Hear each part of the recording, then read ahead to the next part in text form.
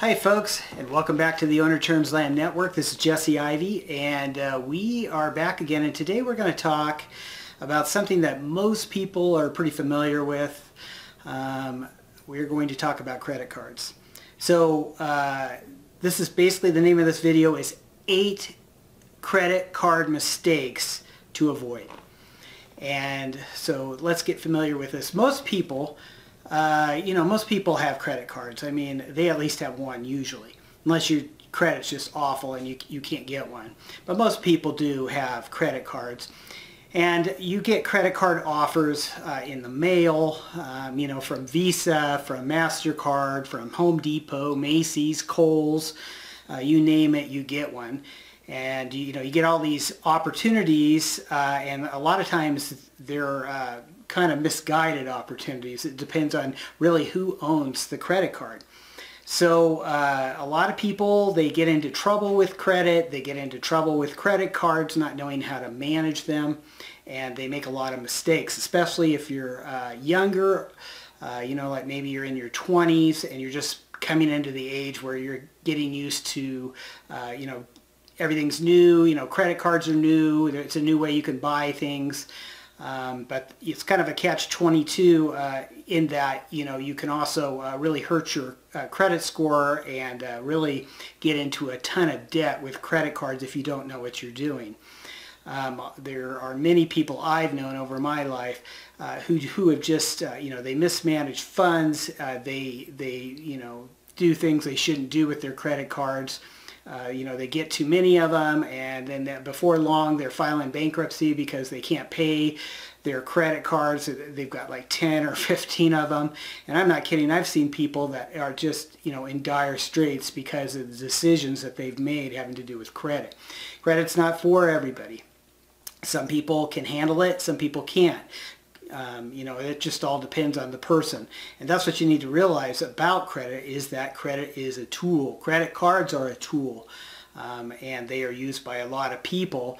But uh, mainly, uh, you know, you have to use them responsibly or you can end up in a lot of trouble. So a lot of people don't understand that, especially a, a lot of younger folks. Some, some older folks get into trouble with it too. Maybe they've never experienced uh, credit card debt before or uh, how to use a credit card and that type of thing. Okay, so what credit card mistakes do people make? Um, basically, the first, number one, the first mistake that people make with credit cards is uh, they only make the minimum payment. So when you get a credit card bill, it comes in the mail, maybe it says, you know, this month uh, you only have to pay $25, okay, but you have a balance on there already of $750, okay? So rather than making, you know, a larger payment on it, these people, uh, they just pay the minimum, $25 a month. Okay, so that's what their minimum is. And then as time goes by, they usually run the credit card up more, uh, where their payment goes up more too. Uh, but the thing is, is that the interest uh, on the credit card is usually somewhere between 6 and 18%. Did I say 18%? Yes, I did. 18% it can go up to. And so when you have a balance on there and then, you know, you are monthly figuring that out on eight, you know, 18% or 12% or 10%, whatever it is, that's a lot of money that you're throwing away because of your credit card balance. So that's one thing that people do uh, is that they, you know, do that with their credit cards. They don't pay uh, more than what their normal payment is. Uh, they just make the minimal payment and then their credit um, continues, you know, their credit card continues to excel and then before long you have a problem because usually they max out their credit card and uh, basically that's number two. Number two we're going to talk about uh, the, the second reason uh, is people max out their credit cards, okay? They, they max out their credit cards. So let's say I have a credit card, um, it's at 14%. Um, I went to Best Buy, I bought, you know, a few electronic items. You know, I went to Home Depot, I bought some stuff, whatever. And let's say my credit cards, um, you know, went up to, it's like $4,000 credit limit, okay? So whoops, you know, and I already, I already spent $4,000, okay? So I already spent $4,000, so now it's maxed out. So you basically, now my payment's gonna be probably 150 bucks a month, something like that, pretty close to that.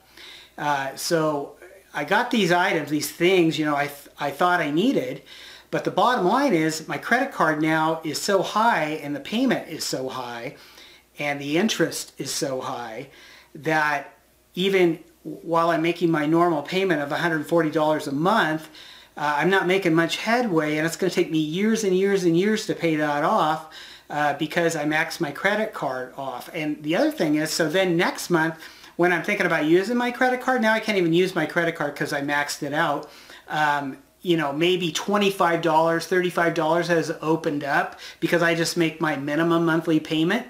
Um, and so, you know, that's what's ridiculous. It's just like you max it out. So you're basically just, for the most part, you're paying on a dead horse now. You're, you, you've maxed your credit card out and you're paying on a dead horse. And that's what happens to a lot of folks who don't know how to use credit. They just max out their credit cards and uh, before long, they're paying on a dead horse, then maybe, you know, they get into financial trouble, can't make these payments before long. Uh, you know, the credit card company says, that's it, you know, no more. So, uh, you know, they just cut you off and then you are paying on a dead horse.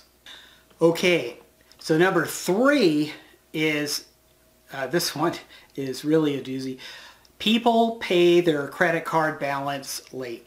So what they do is the bills due, they, maybe they don't even open the statement up, you know, it just comes in, they don't even know when it's due, but maybe they do, okay, but it comes in on the on the 20th, you probably have a 10-day grace period, so, so they haven't paid their bill, it's $140 a month, and they haven't paid it, and now it's uh, the next month, it's on the 3rd, and so you have a late fee, so it's about 30 bucks right there. Uh, then they're going to report to the credit bureaus, uh, you know, to to basically say, hey, uh, you know, this guy didn't pay his credit uh, card bill on time, and so we're going to dock him, you know, we're not happy, and he got a late fee. So then you, that affects your credit score. Uh, so that's not a good thing either. You know, these late fees and you know if this continues on before long if you're too late uh, they'll just like I said cut your cut your credit card off. You know they'll say we're closing your balance and you just owe this amount. So that's another thing uh, people do with credit cards when they don't have the experience to use them really so uh, you really have to watch that. You want to make sure you open up your statements and you look to see exactly when your due date is so that you're not sitting there uh, making late payments all the time and then that docks your credit score. And then if you want to go buy a house or something like that, you can't even do it because your credit score is so bad because you've been dinged a bunch of times. So that's something you want to uh, keep an eye on. Okay, number four. Number four. Another thing people do is they get too many credit cards. So let's let's just basically see. So so let's say, you know, I get a I get a Visa card and I have a Mastercard and I answered something to Macy's, so now I have a Macy's card, I have a Home Depot card. Um, you know, it just goes on and on. I got a Kohl's card, and I've seen this happen over and over and over again. And what people don't understand is when you open up all these credit cards, uh, this affects your credit score uh, dramatically because what happens is the credit bureaus look at these and they say, wow, you have all this credit available to you. Or maybe you've already maxed out these five credit cards and now you basically can't even uh, open up anymore or maybe you're, you've opened up a few more or you're applying. Every time you apply and, and you open up more of these credit cards, it just affects your credit score and not in a good way. It, it, affects it in a downward spiral because what happens is credit card companies, uh, you know, they report to credit agencies and credit agencies basically look at these, you know, the credit, bureaus and they go, wow, you have so many, you know, you have too many credit cards, you know, that means you could go into debt really bad, so we're going to dock your credit score. And that's what happens. It happens to a lot of people. So uh, that's another thing that you want to be careful of uh, with credit cards is that you don't open up a bunch of credit cards. That's a big one. Okay, number five. Number five. So another thing people do with credit cards, especially newbies that open credit cards is that uh, they skip a payment, you know, like with, with their credit card. So it's one thing to be late, but it's a whole other thing just to not make a payment. So what happens is they get late charges, uh, they skip a payment, uh, maybe they negotiate something with their creditor, the credit card company saying, hey, can I skip this payment? I just can't afford to make it regardless, it still shows up on their credit score in a negative way. And, and that's what people don't understand is even though your credit card company may be trying to help you if they negotiate something, they report it, credit bureau see it, that docks your credit score. So not a good plan at all. Number six, uh, credit uh, card companies, uh, they hand out credit to anybody pretty much as long as you have a an okay credit score. I mean, I've seen people get credit cards who only had a 500 credit score. They still get them. Um, but credit card companies charge a lot of interest, and that's something you want to be aware of when you are looking to open a credit card. You want to see how much interest is on there. Is it 4%? Is it 6%? Is it 12%? Is it 18%? There's credit card companies that charge 16, 18% on credit cards. I mean, it's like ridiculous. And then you put a full balance on there and you're paying a lot of money every month. And then if you have multiple credit cards, oh my gosh, you are paying, it's like you have another house. You know, if you had like, let's say you had $25,000 and, and five more cards, you know, you're probably paying 140 bucks a month. So, so, it's like you have another house payment almost. And that's how people get into trouble with credit cards is that they don't really understand what they're doing. Okay, so number seven, number seven. A lot of people, they want the credit card, uh, but they don't read the fine print. So what does that mean? So do you even know what, like on your credit card, let's say you have a credit card, and I'm talking to you let's say you have a credit card. Do you open it up and do you look at to see before you even sign the docs to say you're going to get this credit card? Do you even look to see, does it have an annual fee? You know, how much interest are they charging on this? You know, um, what are the late fees on this? Um, a lot of people fail to even look to see what exactly, uh, you know, their credit card company, you know, whether it's MasterCard, Visa, Home Depot, Kohl's, what, you know, what are they going to do if I miss a payment? What are they going to do if I'm late? What are they going to do? You know, are they going to report? You know, you need to open it up. You need to really do your research. You know, do some online research before you just sign up uh, for a credit card because if you don't know what you're getting yourself into, like with an annual fee, you know, maybe every year your credit card has a $100 annual fee. If that's true, you're going to be paying that every year on your credit card. I mean, it just billions. It just hits your account, boom. I mean, I've had that happen to me, and it's just like, you're like going, what? You know, I didn't know that, you know, when I was a young guy, the same way. It's just like, uh, you know, unexpected surprise, and it's not a good surprise, let me tell you. And finally, number eight. Uh, this is a big one. Number eight uh, on the uh, credit card uh, mistakes people make. Here's a good one. People take out cash on their credit card.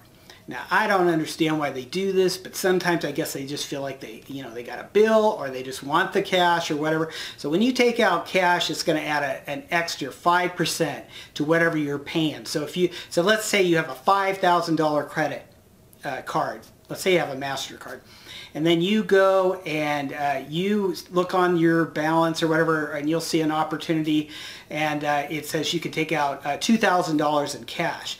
Well, off the get-go, man, once you draw that $2,000 out, not only are you going to pay your normal fee on you know of the balance you took out, but you're going to pay an extra 5% for taking that balance out in the amount. So 5% on top of that, uh, you know, 2,000 bucks you just took out.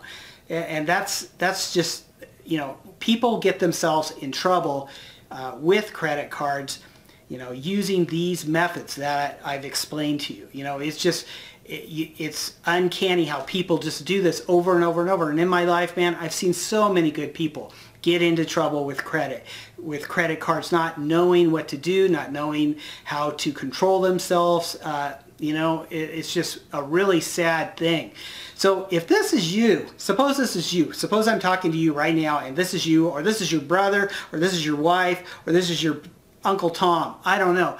But if this is you, I'm talking to you. If this is you, you're like going, okay, Jesse. So you've told me all all the you know all the mistakes people can make with credit cards. What do I do now? You know, how can I better my credit card experience for the future? What what changes can I make? Well, to answer that question, we will be having a new video coming out in the near future that will answer how best to use credit cards and actually it's the practices I use in my own personal life. Well, that's going to do it for this video. I hope you've enjoyed it. If you have, please hit the like button and uh, also subscribe to our channel. And this is Jesse signing off from the Owner Terms Land Network.